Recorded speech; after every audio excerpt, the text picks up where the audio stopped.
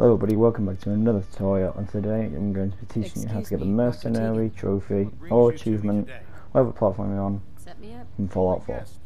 First, I'm going to go to Proctor Teagan if you sided with the Brotherhood of Steel. If not, you'll have to find another way, I'm sorry.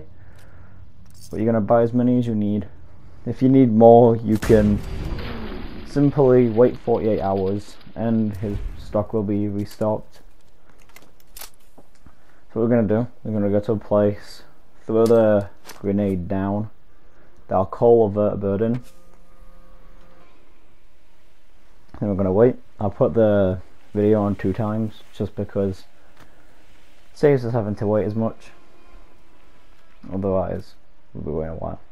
Because vertibirds can take anywhere between about 20 to 40 seconds to arrive, so this will take a while, but it's reliable, uh, to say the least. So it's easy but repetitive and boring. What's the most efficient way I've found of doing this? As you can see, it counts as a miscellaneous. I've only got two done, miscellaneous quests. Obviously I'm my main character, I've done more. I have got the trophy of this. And it says completed. So you get off the vertibird again.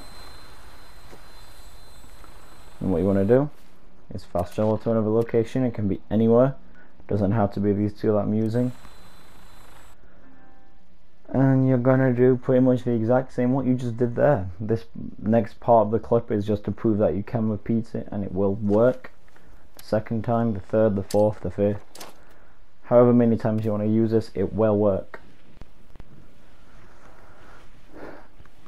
And again speeding it up just so we don't have to wait. There's the vertibird you can see in the distance